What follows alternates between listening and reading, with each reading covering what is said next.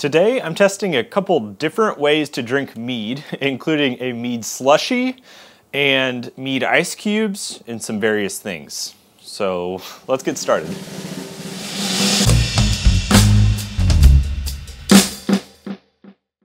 So it's summertime, I'm just enamored by the idea of a mead slushy. That's what started this whole idea.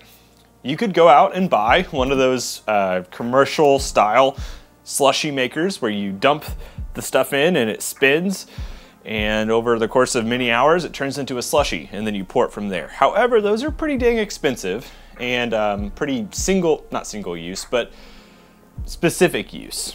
So I figured how can I make a mead slushy at home without having to like go spend all that money?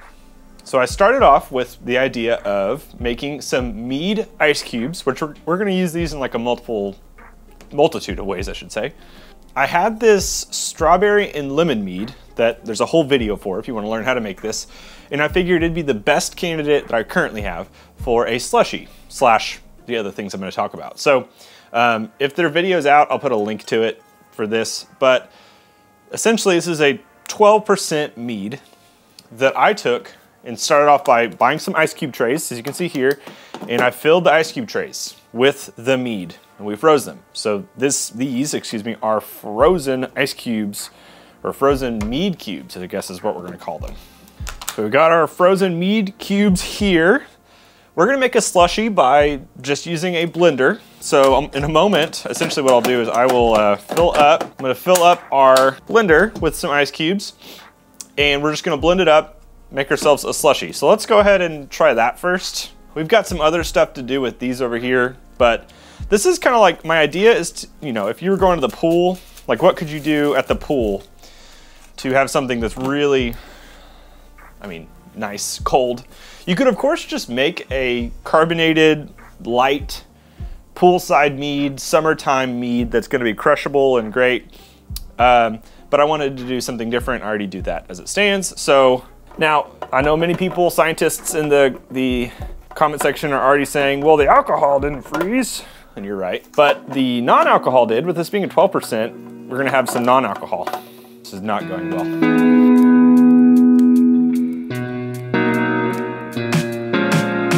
Should have bought the trays that you can push out on the bottom. We've made a bit of a mess, but we got them in there. So that's what matters. So now, with these being frozen, they're like decently frozen. They definitely don't look 100% even though they sat in for like 48 hours. We're gonna go ahead,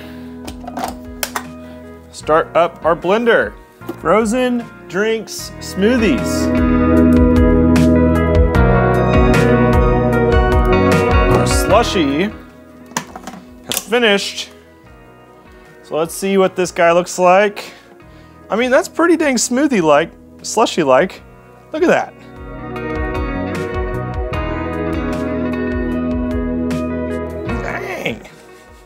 That worked better than I thought. I mean, it's ice cubes, essentially. Now, again, I can already hear the comments of people saying, it's just really cold mead. I mean, yeah, it is. But, oh man. It could just be the combo, strawberry lemonade or lime, strawberry lemon.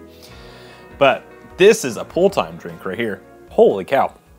So easy to do too. I mean, I made some ice cubes. Mmm. Okay. I'm thinking of the endless combos that could be turned into a very amazing smoothie like, okay. This works. If you ever wanted to make something like this, this is the way to do it. Freeze your ice cubes, freeze your mead rather, and do it that way. That works well. Let's go ahead and talk about some other alternatives. I, I froze another set of uh, cubes right here. And my intent with this one was, what happens, let's say you didn't want to do the whole blender thing and make this, which is so good. Holy cow. The mead's good, the cold version. I'm imagining my by the pool. You can already see at the bottom, there's like, it's gonna start collecting just like an icy wood, you know. But anyways, what if we took and we wanted to make something lighter. Maybe like this is still 12% because it's just the frozen version, right? What if we wanted to make like a cocktail of sorts? Dumb down or uh, make the ABV a little less strong, but still get the flavor, make it more of a mixed drink in a way.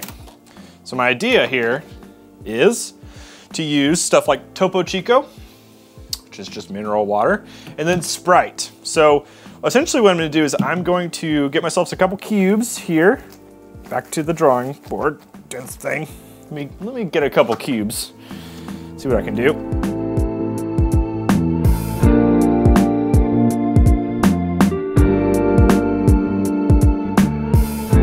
Okay, I've got my glasses and my ice. I'm gonna make a, a little space here because I've made a giant mess. All right, now I know a lot of you are like, why not just make the mead cold and then blend them? That's like less cool. Let's make this more interesting. This is visually, if you did this for your friends, they'd be like, oh, wow, that's so fancy. And then you pour on some, oh, Topo Chico. Look at that. Can you imagine your friends? They'd be so impressed by the thing you've made. Okay. And then if your friend was like, well, I want something more sugary, how about some Sprite?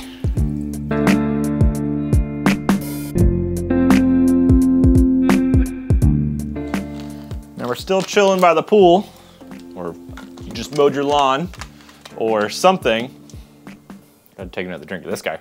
So let's go over to our Topo Chico version. Now obviously the ice cubes, the more they melt, more flavor that's gonna be there. Definitely hard because I think this needs more time to melt. Both were very cold. You can see it like, what's interesting, if you watch it, the alcohol, as it's leaving the ice cube, getting mixed in and the other flavors, there's all that. So I'll tell you what, I'm gonna come back in just a few minutes. We're gonna let these guys have just a moment to infuse.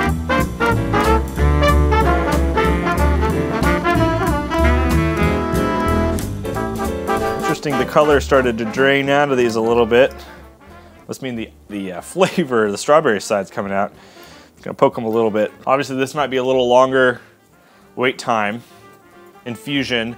Essentially the difference here is that the slushy that we made is straight 12%, 100%, 100% is 12%, not 100%. This guy would rather be like four or 5%. So here's our Topo Chico again. Mm-hmm. It's starting to impart a little bit. It's not extremely strong, but you get the strawberry element there that's light. You could probably have a bunch more of these, stay hydrated because you're drinking Topo Chico, and still have uh, quite a few of these. That's pretty dang good though. Woo! But that's good. Okay, a little sweeter, over to the Sprite. I don't know if I'll like this as much. I kind of like the crisp, refreshing side that's mostly sugar from the uh, strawberry and lemon mead, but that's pretty dang good though. yeah, definitely has you know, Sprite sweetness. Plus the strawberry and lemon. Mmm. That's pretty dang good. Okay, synopsis. First of all, if you did this, I'd recommend a combo that's more summertime, hot weather friendly. I don't foresee you doing this in December when it's cold outside. I mean, you could, but a mead slushy doesn't really scream cold outside. I would do something like a tropically fruit. I can imagine making this as a pineapple mead, throwing your ice cubes in. That could be fantastic. The only, uh, not only problem, one of the problems is ice cubes are kind of hard to deal with. So you could alternatively just like pour it into a freeze safe dish, freeze it, and then just scoop out to make your slushy if you wanted to do that. If you like the ice cube idea, then you do have to use the ice cube trays and fill them up. If you're doing stuff that's like 6% with the ice cube trays, it's gonna be way different. When you water it down like this, it's gonna be like 2%, 3%, which maybe that's what you wanna do. When you make your slushy, it'll still be 6%. So maybe that's the way to go if you do a lighter ABV. I'd be curious to see what people say about doing stronger than that. Um, I'm sure I'm not the first person to do a mead slushy, so I'm not declaring that I've created this. I, I know I haven't. But I want to give you the options that I've experienced. It's very good. So let me know what you think. That's been a mead slushy and a mead mix that you can drink at the pool or when it's hot outside, more than likely. I am definitely gonna be um, sharing this with my friends when I go to the pool over the summer. Uh, I think I might make myself some slushies, but we'll see. Thanks for watching. Let me know what you think down below. Hit subscribe, and I hope to see you in a future video. Cheers.